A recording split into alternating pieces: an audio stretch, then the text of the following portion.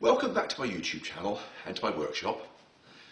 I've already posted one video where I did some experimentation on different glues for the pink foam. This time I want to do some further experiments using the gripper. Using Here are the samples that I did last time. I've torn off the road bed because that's not part of this experiment. Yesterday I painted one of them with the, with the gripper. Today I'm going to paint another one with the gripper but leave it wet and I'm going to leave the third one without it as a control. And then I'm going to see if it makes a difference to how well the plaster cloth and the Sculptamold stick. So let's put the camera back on the tripod and get to work. First thing to do is to slap some, some of this gripper on the second test piece.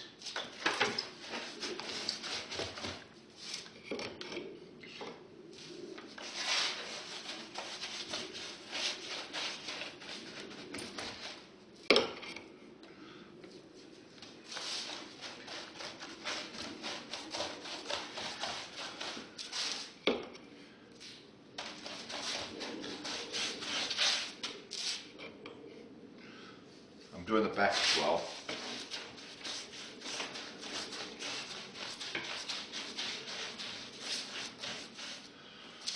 Okay, that's enough on there. Now one thing to notice is that I've carved one side of each test piece rough and left the other one smooth. And here's some sculpture.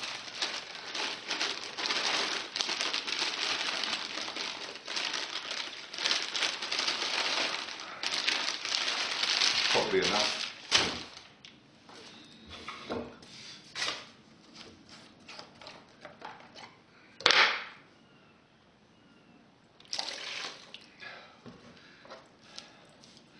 And you didn't see me spill oil on the table there, did you?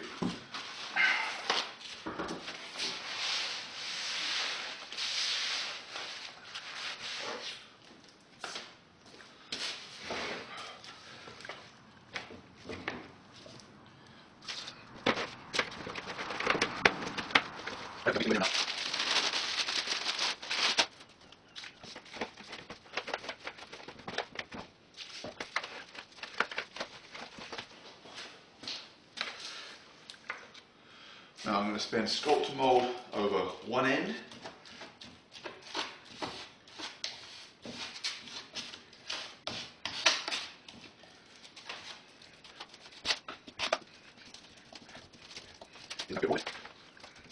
Now back to the still wet, so I'm good.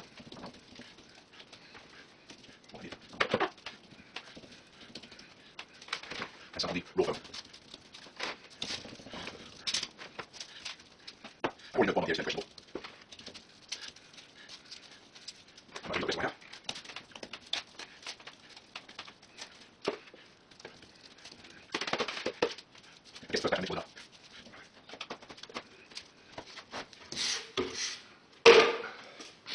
Now I'm going to cover the other end of the three test pieces with plaster cloth.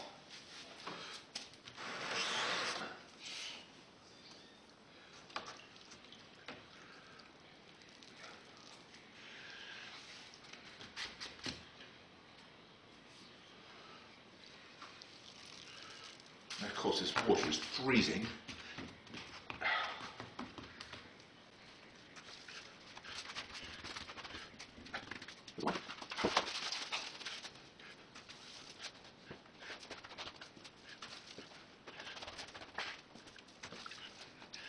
As it goes over the not over there.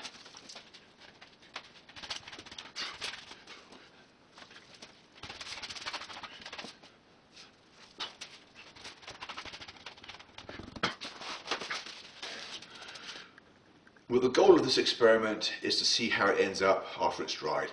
I'm not really too concerned about short-term strength. It's more how it's going to end up after I, after the scenery is finished. So with that in mind, all I can sensibly do now is to let everything go hard, and I'll come back out tomorrow and test it and see what we end up with. I really don't know what to. Well, I've given all these test pieces time to dry, so now let's take a look. Okay, I already know exactly how firm this is going to be. The Sculptamold sticks reasonably well. It, it, I can pull it off if I, if I need to, but it, it sticks, you know, kind of okay. The plaster cloth is is easily peeled off. Okay? It sticks, but only just. Now with the wet gripper,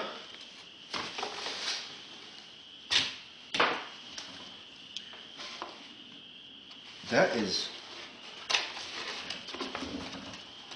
I'm breaking the Sculptamold rather than peeling it off. That is absolutely not letting go. And with the plaster cloth, that, that bit wasn't glued down. Okay, that is very hard to pull up. And it's leaving bits of plaster behind. So that bond there is stronger than the plaster cloth. Now if I leave the gripper to go dry, let's see if that makes any difference. Uh, that peeled off, but that might not have been stuck very well.